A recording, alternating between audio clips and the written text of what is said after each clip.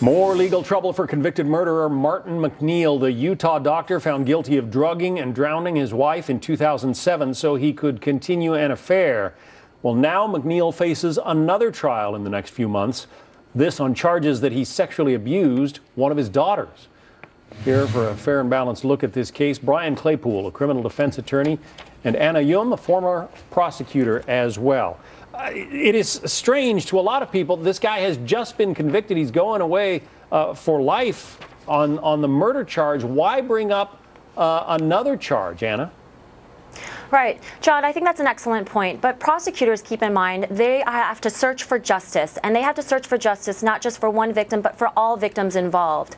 They, they sought justice for Michele MacNeill. They obtained that. And now they are seeking justice for Alexis Somers. Now, I understand that they're facing some criticism because, of course, the taxpayers have to pay for this type of trial. But at the end of the day, the prosecutor has a duty. If they believe that they can prove something, if they believe they can prove a case beyond a reasonable doubt, then they have an ethical duty to do so. And they have to champion the victim rights in order to fight for Alexis Somers and what they believe in. Well, I, I think most people would agree with that, Brian, except that this case was looked at when, when the daughter first brought charges against her father back in 2007, and ultimately they decided not to file charges. Why file them now?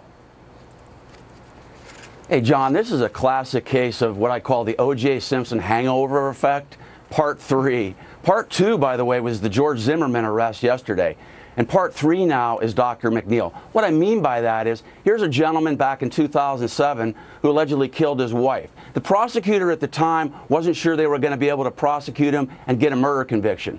So they filed child abuse charges. Then they dropped the charges. They didn't do anything for two years. Now, all of a sudden, they're going to prosecute Dr. MacNeill. Well, they need to drop these charges for a couple reasons. They already got their guilty verdict, so their, their motive is highly suspect.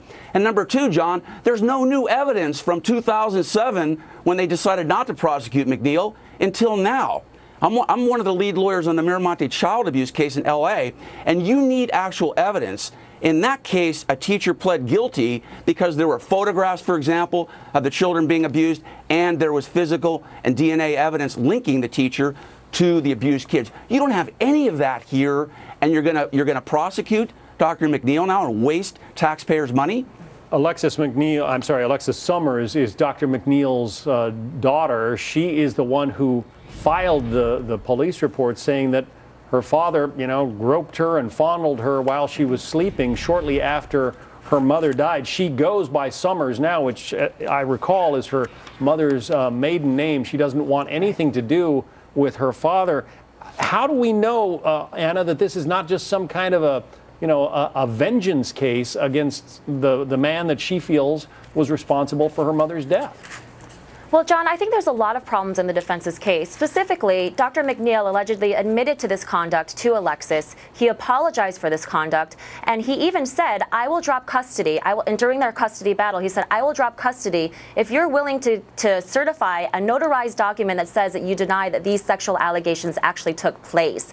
Now, my understanding is that Alexis was sleeping in the room. He was not supposed to be in the room, and then she wakes up to him groping her buttocks and kissing her hand. Now, oftentimes sex crimes are very difficult to prosecute because at the end of the day, there's usually no physical evidence to corroborate the victim's testimony.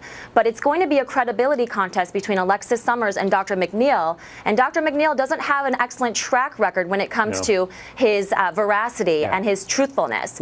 so I think really it's yeah. going to come down to her credibility and also possibly the battle of the experts because he's claiming that he was allegedly sleepwalking during these alleged activities. We should also mention that usually uh, the identities of victims of sex crimes are not reported, but Alexis Somers has been uh, quite public about wanting this case prosecuted. Uh, Brian, to another case now, there are new reports that one of the stars of the hit VH1 reality show Mob Wives ordered armed thugs to abduct a man off a New York City street so she could shake him down for cash and jewelry. Supposedly, she had given this guy $10,000, the story goes. Uh, he was supposed to get some tickets to some NBA uh, All Star game, and then she was going to resell them, make a lot of money. How do you go about proving a case like this, Brian? Well, first of all, thank goodness I didn't book my, my NBA hotel room uh, where, where this gentleman was supposed to reserve those rooms. I would have paid way too much. But look, I, I, think I think these charges ought to be dropped, or at least they should be they, they, should be reduced. First of all, you can't prove a kidnap, John, in New York.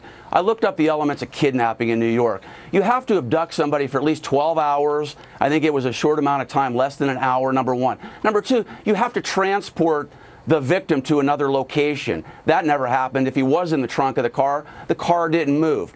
The reality here is that if you get a jury, John, of, of 12 normal folks out there, they could probably relate to, to Miss Rizzo.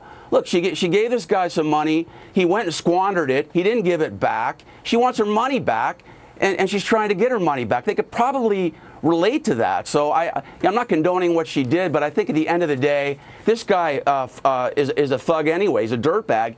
He, he, you know, he's got a prior criminal record, and he was kicked out of his apartment recently for not paying rent. So he doesn't really have a, you know, much of a and uh, shortly after this incident, Ramona Rizzo sent out this tweet When you steal or rob from anyone, make sure you are about that life. If not, get a real job. I mean, can that kind of thing be used against her? Absolutely. It astounds me that people really rely upon social media, not thinking that it could be used against them in a court of law. John, when I was a prosecutor, I would canvass these social media websites, whether it was MySpace, Facebook, Twitter, to see if I could get some incriminating evidence against the defendants. In this case, if she is prosecuted, you can definitely bet that the prosecutor is going to use these tweets against her because these are admissions, and if anything, it evidences her motive and her intent. Now, back to what Brian was saying, I understand that this victim might not be the most likable guy, but you can't condone vigilante justice. You can't take matters into your own hands. There's legal processes to try to get your money back, as opposed to hiring a thug to beat someone up, to kidnap them, and to rob them. Well, Jenna, Jenna tries to get me beat up just about every day. well, Anna, if you don't do that, you don't make the cover of the Post. That's so, right. you know. Anna Yum and uh, Brian Claypool, thank you both.